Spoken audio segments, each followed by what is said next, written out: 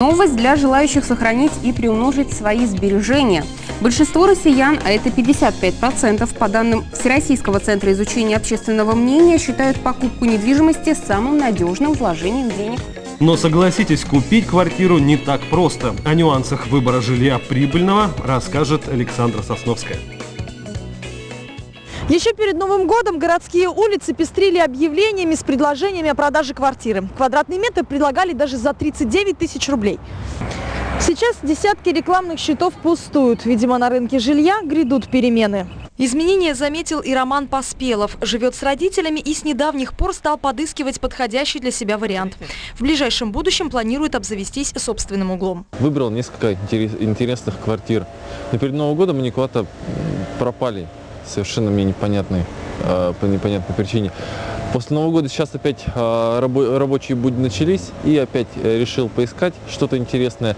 И наткнулся на эти же самые квартиры, но уже по более большей стоимости. Объяснить для себя сей факт молодой человек так и не смог. У аналитика Елены Ершовой ответы есть на любые вопросы. Она внимательно следит за всем происходящим на тюменском рынке жилья. На текущий момент на рынке жилой недвижимости а, не наблюдается резкого спада либо роста а, цен средних, средних цен за квадратный метр. И а, по нашим прогнозам в 2013 году предпосылок для дальнейших каких-то резких изменений также нет в целом. Застройщики тоже говорят, что переход в Новый год не стал поводом менять цифры в прайсах, хотя у каждой компании своя политика.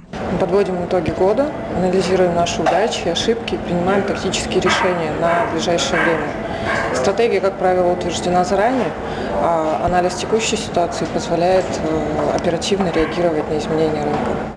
Опыт прошлого года показывает, в январе квадрат в новостройке в центре оценивали в 56 тысяч, а уже в декабре в 72. Прирост цен на первичном рынке составил 21%, на вторичном – 15%.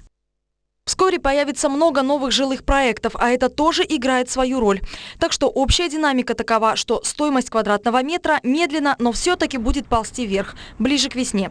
А те предложения, которые попались Роману, пока что исключение из правил. Удорожание, вероятно, произошло по личному желанию продавцов. И тенденцией это назвать нельзя. Александр Сосновский, Артем Суханов, Сибинформбюро.